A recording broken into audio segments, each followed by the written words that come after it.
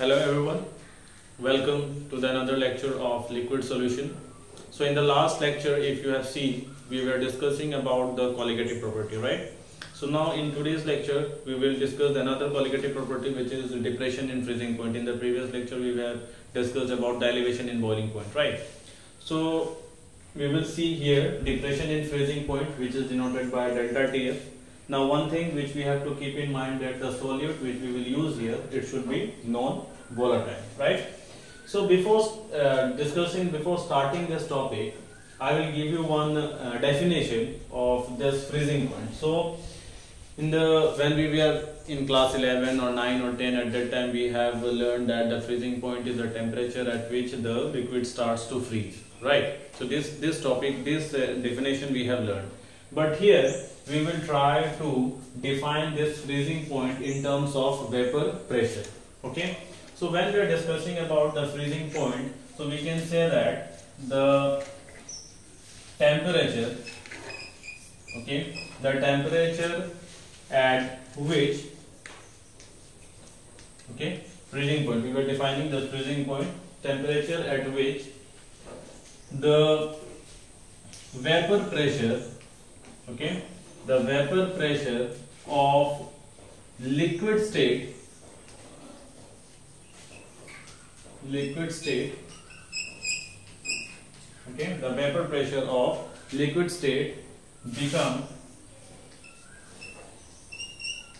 become equal to equal to solid state or you can say that become equal to the vapor pressure of become equal to the vapor pressure of vapor pressure of solid state.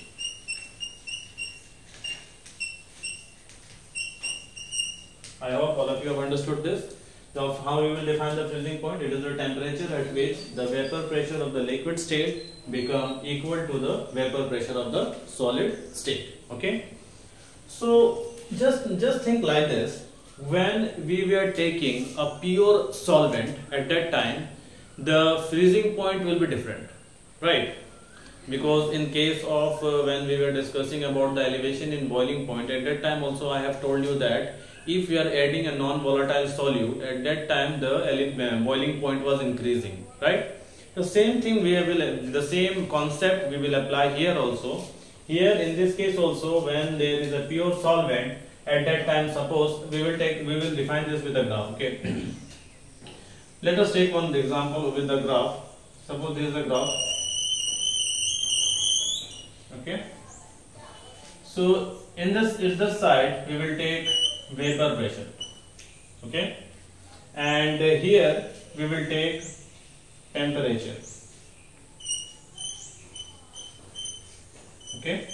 Here we will take temperature so suppose when we were taking pure solvent at that time suppose the graph of the pure solvent or you can say that the graph of the solid solvent suppose this is the graph of the solid solvent.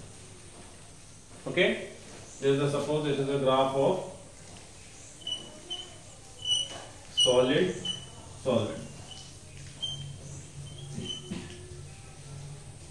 now what we are doing we were if we are discussing about the mm, if you are talking about the vapor pressure okay? Or you can say that if you are talking about the pure solvent so if you if you will see the graph of the pure solvent will be something like this.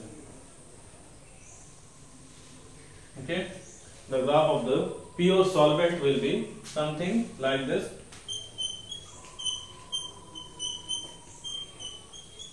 Pure solvent will be something like this. Okay? Now when we have added here non-volatile solute okay? At that time freezing point will decrease. Okay? So now if you will see when we have added the non-volatile solute at that time the freezing point will decrease and the graph of the solution will be something here. Somewhat in this position. Okay? This will be the graph of the solution. Okay of the solution? So now if you will notice here you will find that this is the temperature this one okay? This is the temperature of what? This is the temperature of pure solvent. It is denoted by T naught F okay this is the temperature means what we can say that this is the temperature where the pure solvent used to freeze. Okay?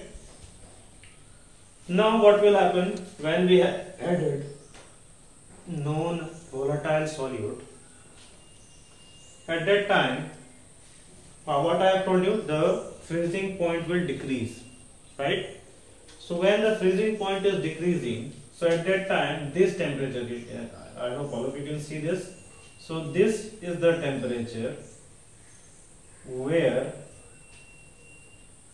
this is the temperature where the freezing point of sol solution or you can say that the solution will freeze at this temperature.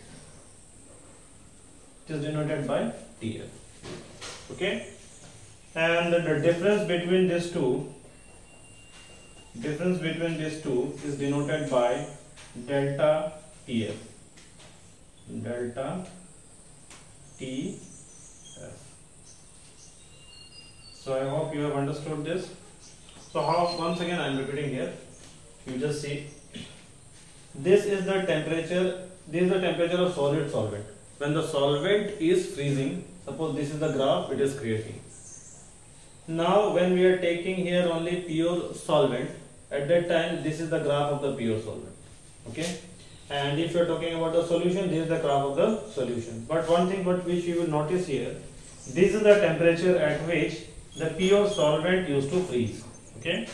And this is the temperature at which when we have added a non-volatile solute at that time the vapor pressure or you can say that this is the temperature at which this temperature at which the solution when we have added a non-volatile solute at that time this that at this temperature at this temperature the solution used to freeze and the difference between this it is denoted by delta Tf. So what we can write here we can write like this delta TF okay it is equal to T naught F minus okay? Now this formula one formula you have got. We have got this one formula. So from the experiment okay? From experiment we have found that this delta TF okay? This delta tf is directly proportional to is directly proportional to molality okay from the experiment we have found that this delta tf is directly proportional to molality so now to remove this directly proportional sign what we will do we will apply here a constant term which is called delta TF is equal to KF M. Here KF is what? It is a constant term which is called cryoscopic constant. Okay, the KF is a constant term which is called what? KF is a constant term which is called cryoscopic constant.